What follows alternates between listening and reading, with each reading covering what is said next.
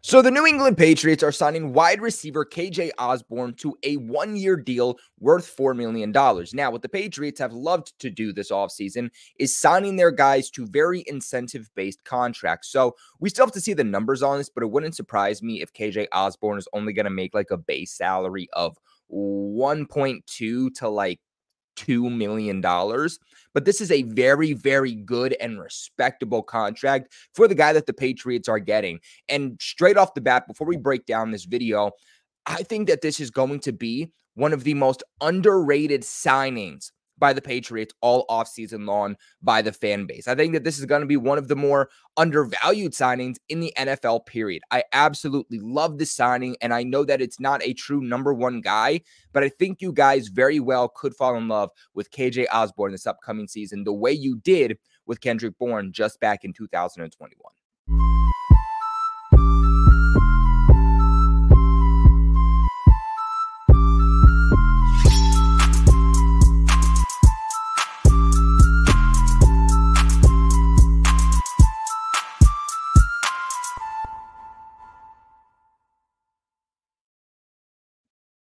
And so, first off, welcome the New England Patriots to the free agency board. Okay, we thought that wide receiver was going to be a major need for them this offseason, and it sounded like they thought the same thing. It's been almost a week now. Okay, it's been six days since the legal tampering period and free agency has started. And this is the first wide receiver that the Patriots are signing to their team that wasn't here just back in 2000. But Osborn is still fairly young. He's only 26 years old. He originally entered the league as a fifth round pick by the Minnesota Vikings back in 2020. That is when Minnesota actually splurged at the wide receiver position. They got Jay Jettas and then they got KJ Osborn. Now, the biggest question I think a lot of you are going to be asking yourselves is is this guy a legit contender to be on the team next year or is this a camp body?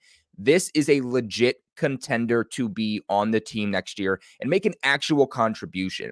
For the Minnesota Vikings over the last four years, it didn't necessarily start off too hot. He kind of started not so much on the roster. He had to build his way up over his four year span with them and also served as a big return man for their special teams, which could be another reason that the Patriots are signing him. But as time went on, he very much solidified himself as a high end wide receiver three to low end wide receiver two.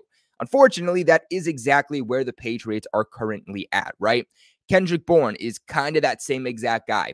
He is a high end number three but has that potential of being a very solid number two. You have a guy like Demario Douglas, who I want to say was first or second in terms of receiving yards for the Patriots in his rookie season this past year in 2023. He is going to be a good wide receiver three option also. So, look, does this essentially move the needle in terms of what the Patriots needed, getting themselves a true wide receiver one?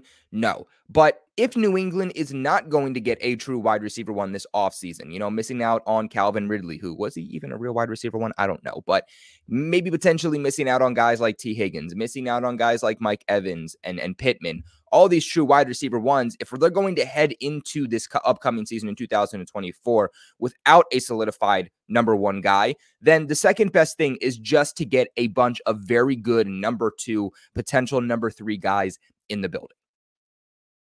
At 5 foot 11, 203 pounds, I think that a lot of people are going to expect Osborn to come in and essentially be a slot receiver for the Patriots and really exclusively a slot receiver, which is really the last thing that the Patriots need. But that's not what he's going to do.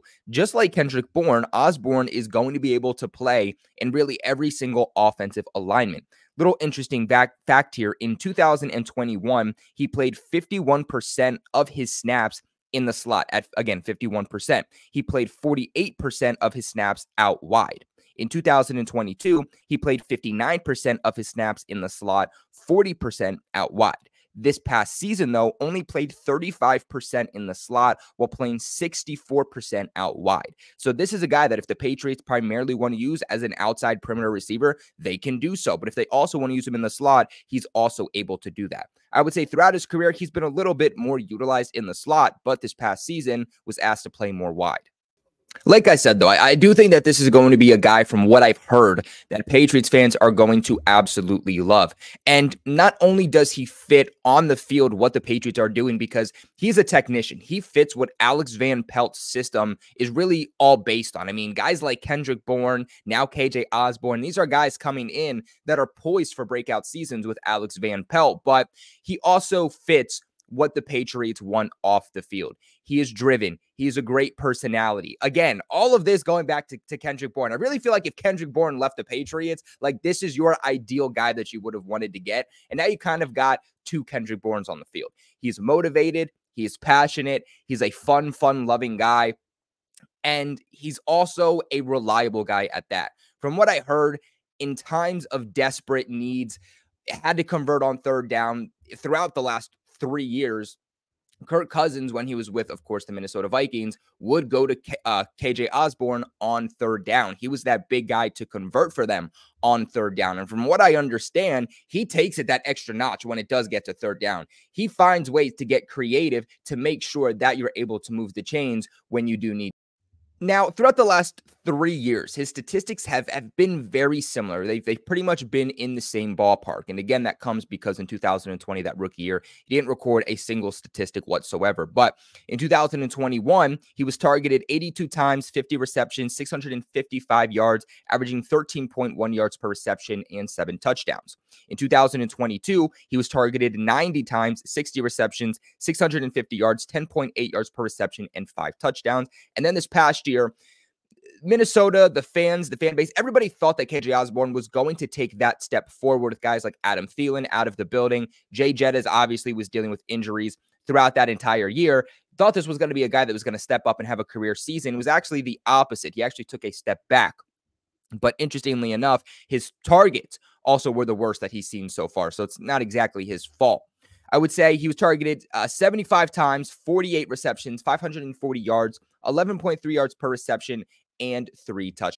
So looking right now on the Patriots depth chart that they finally have updated now that the new league year started, thank God.